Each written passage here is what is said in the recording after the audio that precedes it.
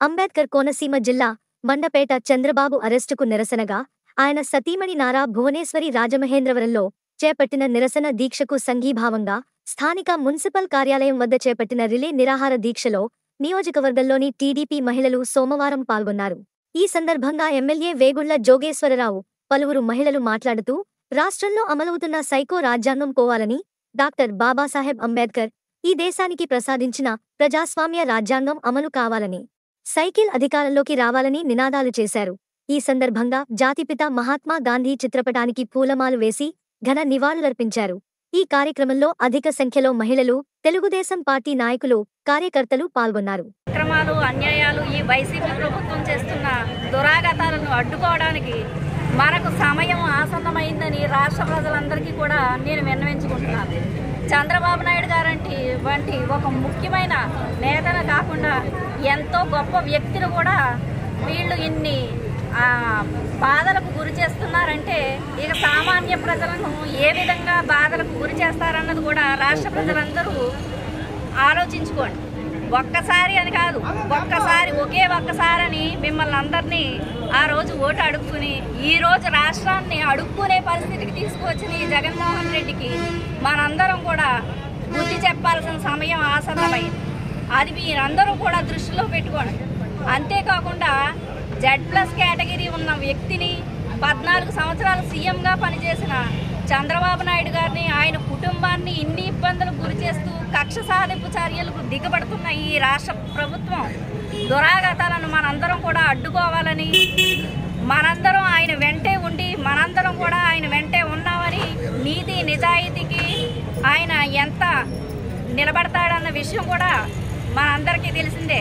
ఆయన జైల్లో పెట్టినప్పటికీ కూడా ఈరోజు ఆయన చేసిన అభివృద్ధి బయటకు వస్తుంది తప్పితే ఆయన ఒక్క నేరం కూడా చేయలేదండి ఎందుకంటే భవిష్యత్తు అంతా బిడ్డల భవిష్యత్తు అంతా మొత్తం ఎంతో బాధ వేదనతో ఉన్నామండి జనమంతరం బాబు గారిని ఇలా పెట్టిన కానీ ఎవ్వరికి కూడా బ- భోజనాలు లేవు ఏమీ లేవండి. మనుషులు ఆయన భవిష్యత్తు గురించి పోరాడని మనిషి అండి.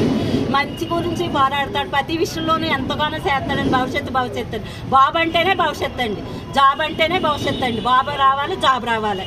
అందరూ ఆశతో చూస్తున్నామండి. ఎప్పుడైతే జగన్ గారు ముఖ్యమంత్రి అయ్యాడో ఎప్పుడు ఎవ్వరికీ మనశ్శాంతి లేవండి. వచ్చాడు అర్ధరేత్రి మంత్రి వచ్చాడండి. అర్ధరేత్రి గారు పడగొట్టేశాడు.